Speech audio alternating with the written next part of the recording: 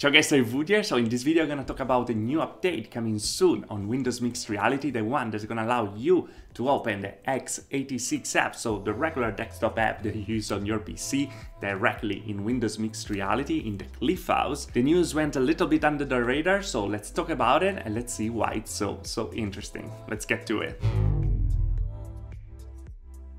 Okay, so to start, we have to say that you're gonna be able to check out this new feature on the 1832.9 build that is on the fast ring right now. So if you're not um, usual on the insider build, well, there are the fast ring where stuff are not always very stable. There's a slow ring where stuff are pretty ready to get to the like public and then there's the regular one where the stable one that is the update that you're gonna receive well i'm usually on the slow ring so i didn't receive this update yet, but now I also opted out for Insider for this period because I have to work on the Pimax 5K review and so I need the system to be very very stable.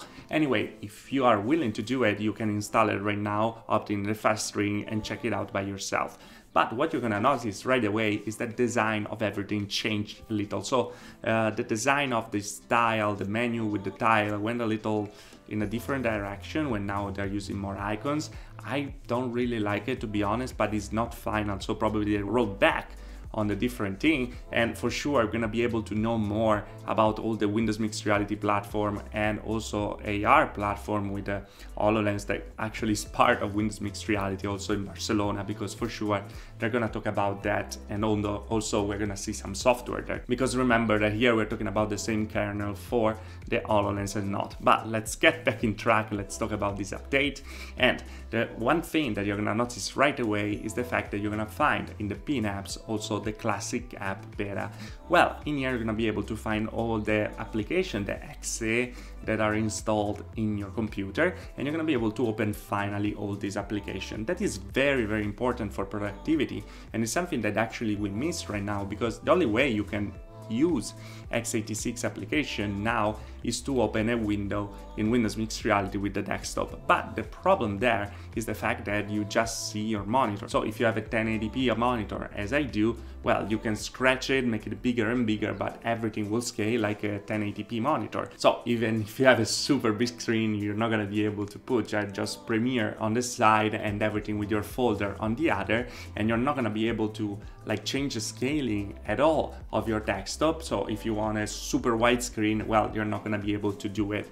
And well, this is something that is gonna get to change because when you open an x86 app, you can actually like scale it in different way in your desktop. Stop and if you're gonna be able to do that in the same way, well, imagine to work on Premiere and having the possibility to, to use like your virtual world completely as a timeline. So having a very, very long timeline and be able to work on the different pieces much much better. Well there is gonna be very very interesting and right now we're not able to do that yet. And another thing that we have to talk about is some apps are actually starting to support windows mixed reality even if they're not in the windows store because right now just if you open with the uwp so the windows store app you're able to use them well, if you consider Chrome actually support Windows Mixed Reality, but there's no way to open Chrome in Windows Mixed Reality right now. So that's a bummer. So if you're using like Chrome every time, well, finally you're gonna be able to open your own windows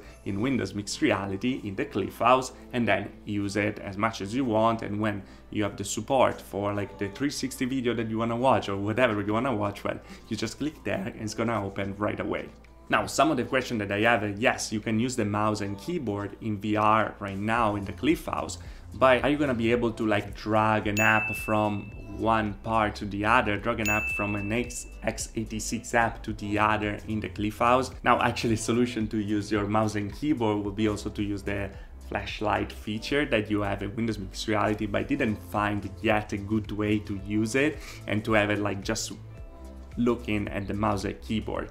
Will be very, very interesting to maybe like use the RGB lights from the cameras to understand where the keys are and creating like a mock-up and like a virtualized keyboard there. And when you put your hands on it well you're gonna be able to see your hands with the camera as well. I assure you that when you want to work there and you don't see the keyboard well it start to get a little harder. And so you just rather like take it out and use it on your desktop. So that will be like something very interesting to have in the future. So this is the update that we're gonna see pretty much. I'm very interested in that because I really wanna see if we're gonna be able to be more productive in VR.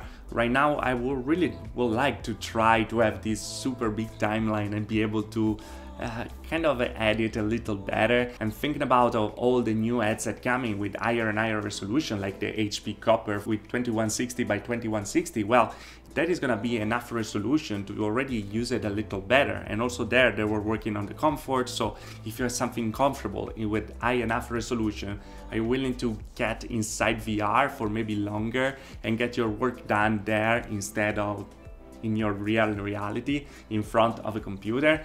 Well, let me know in the comment below. For now, if you liked the video, like, if you didn't like the video, dislike, subscribe to the channel for more about VR and tech. I see you guys next video. Thanks for watching. Ciao.